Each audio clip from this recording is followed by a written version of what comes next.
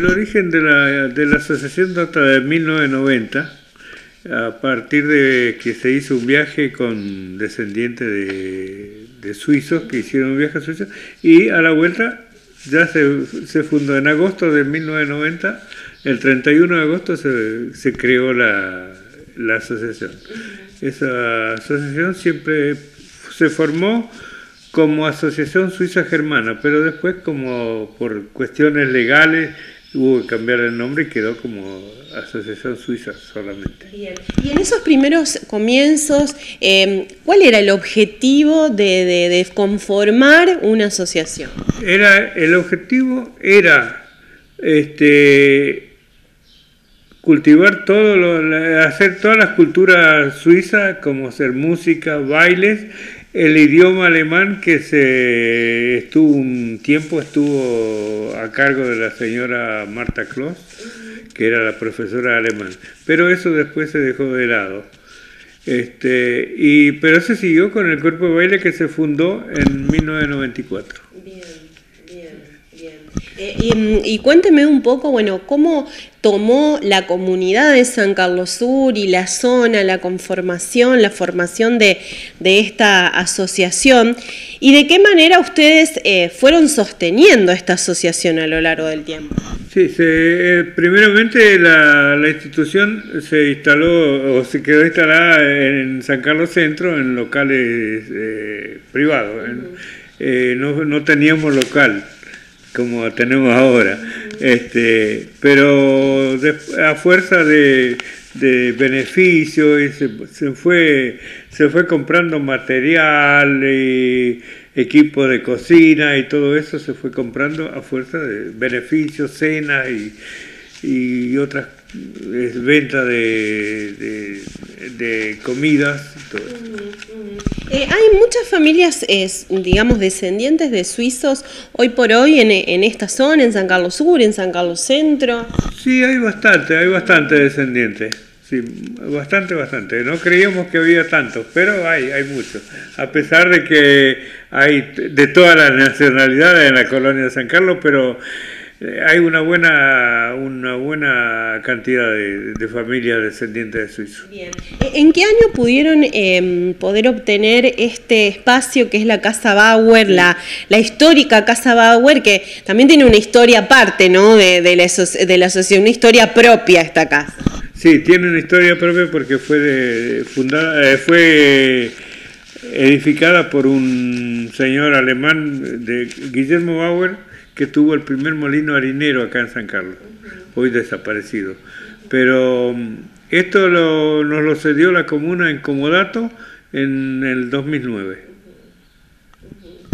Y de ahí, bueno, ustedes eh, la hacen propia, instalan su sede, donde se reúnen, bueno, periódicamente. Eh, ¿Cuáles son esas ideas que ustedes tienen para, para este lugar? Un poco a futuro también, Evelio, porque han concretado lo que es eh, el salón, esta secretaría, pero bueno, hay otro espacio, otra ala del, del, del edificio que ustedes también, eh, la idea por ahí en, en, algún momento fue hacer un museo, eh, recuperaron el sótano. Sí, es, ahí tenemos que hacer el museo.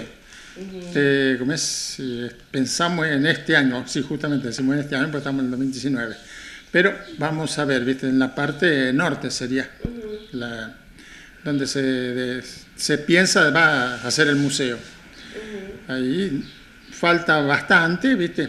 pero ya el techo se lo hemos cambiado, este, la abertura ya la tenemos arreglada y nos falta ahora nomás es hacer el cielo raso y revoque y piso. Uh -huh, para poder concretar. Sí, eso sí. Eh, Paco, cuando hablamos de la historia y hablamos de por qué llegaron las primeras familias, el 2018 fue un año importante porque se cumplieron los 160 años de la colonia San, San Carlos, se habló mucho de ello, pero particularmente eh, los suizos llegaron a esta zona también buscando trabajo, buscando poder establecerse, escapándose de qué. Sí, eso fue una, una resolución de, de gobierno, creo que fue de Urquiza, me parece, sí. este, y atraer familias para colonizar, para trabajar la tierra. Entonces la firma Beck Herzog, entonces eh, contrató gente, familia, y los primeros que llegaron acá fueron suizos. Eh, fue Reutemann, este, Swin y Preman. Las tres primeras familias que llegaron. Después fueron llegando en todos los años sucesivos, días después y años sucesivos fueron llegando los demás. Y después se añadieron alemanes, este, este, polaco, este, austríaco, italiano, franceses todo se fue haciendo una mezcla de, de, colectividades. ¿Cómo vivían en esos primeros tiempos? ¿Era una comunidad que vivía en armonía? ¿Podían, digamos, eh, relacionarse como vecinos, como lo hacemos hoy por hoy? Sí, yo, yo pienso que sí, pero eh, hubo problemas, como hay en, en la actualidad hubo problemas antes también. Eh, cuestiones de religión, de intereses creados, políticos. Eh, no era política, pero hoy es, más o menos lo mismo. Entonces ahí surgieron las divisiones de la colonia. es, la única colonia en el mundo con tres pueblos.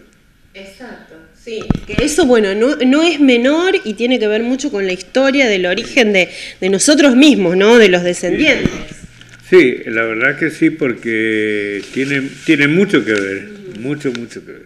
Sobre todo el, trabajo en esta zona, las fuentes de trabajo en esta zona eh, tuvieron que ver con los primeros inmigrantes, o sea, se crearon a partir de los inmigrantes. Sí, a partir de los inmigrantes porque ya venían con el, el con ya establecido que iban a ser colonos.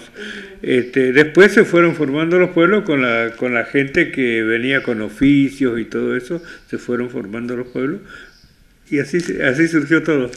Si tuvieran que caracterizar eh, en esos primeros comienzos de la llegada de los inmigrantes, ¿cómo eran esos inmigrantes en sus actitudes, en, su vida cotidiana? ¿Eran pacíficos? ¿Eran amables? ¿Cómo, ¿Cómo ustedes caracterizarían a la gente que llegó? Y yo pienso que es prácticamente como ahora.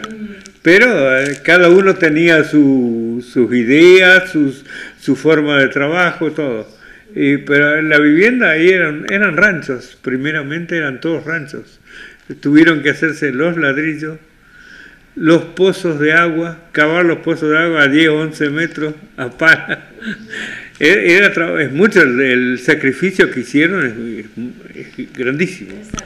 Eh, Paco, uno trata con estas asociaciones, con la fiesta de las colectividades, sostener toda esta tradición, esta cultura que se fue pasando de generación en generación. ¿Se ha logrado en alguna medida estas nuevas generaciones, los jóvenes, valoran todo lo que se hizo desde los comienzos? No, es poco lo que se valora en este momento, pero habrá que seguir inculcando, inculcando hasta, hasta que tomen un poquito. Ya cuando vienen más grandes ya empiezan a pensar más, pero hoy la juventud está un poquitito este, en otra cosa. sí. Eh, eh. Pero cuando hay gente que está creciendo y se está dando cuenta. Eh, Evelio, y en este sentido, ¿ustedes qué los impulsó durante todos estos años sostener esta asociación, seguir llevando la, bandera de los suizos, eh, su cultura, sus bailes, su gastronomía? ¿Qué los motivó? Y lo que más, como empezamos cuando se fundó, que lo fundamos, viste, bueno, dijimos, hay que llevar esto adelante y y poner el, como dice el refrán, el lomo y darle, darle a todo, a todo para poder llevarle. Y tratamos de con que haya gente nueva, pero viste, no es fácil, viste. Algunos eh, están, viste, pero no, no es fácil hacerlos entender, viste como, es la cultura de Suiza y todas esas cosas. Cuesta con las nuevas generaciones. Claro, cuesta mucho. Quieren hacer, yo quiero hacer la cultura de acá y no es lo mismo. es otra cosa. Allá es una cultura distinta que yo lo estoy viendo ahora, viste, por, el asunto de internet, todas esas cosas. Es impresionante que estoy viendo las orquestas de chicos, viste, todos chicos, coros todos de chicos, viste, que acá no hay nada, todos tocan un instrumento, todos, todos, ¿viste? Y unas reuniones, fiesta grande, pero todos chicos, ¿eh? serán de 10, 11 años, ¿eh? Y tocan, bailan, cantan todo, ¿viste? Lo estaba mirando, ¿viste? Lo tenía por internet, ¿viste? Todo. Claro, ahí tiene que ver mucho también esta cuestión del territorio, porque son nativos del lugar, nosotros acá ya tenemos otro territorio, hay, como dijo Evelio, un crisol en relación a los orígenes de cada uno, porque ya hay, eh, digamos, como, como lo decimos vulgarmente, mucha mezcla, ¿no? Claro, sí, sí, una mezcla, ¿viste? Que no, ya no es lo mismo, ¿viste? Ya son otras idea, te este, va cambiando todo, esa es, otra cultura ya que nosotros tenemos. no sé si es lamentable o buena o mala, no sé, ¿viste? La cultura nuestra este, no va muy, muy adelante, ¿viste? Está muy, muy, muy lenta, muy atrasada la veo yo, ¿viste? Ese sentido la veo, ¿viste? Bueno, pero la única manera de sostenerlo es contagiar eh, este amor que ustedes tienen por, por todo lo propio, por lo de los suizos, y estudiar, Paco, también, y, conocer la historia. Sí, esto uno lo lleva en la sangre, eso ya de años, ¿no? Pero uno hay que tratar de inculcar que a la, juventud tiene que, eh, dedicarse a algo, a la cultura, y más de la cultura del trabajo, más de, eso, la cultura del trabajo. es a lo que vinieron los inmigrantes. A lo que vinieron los inmigrantes. Sí.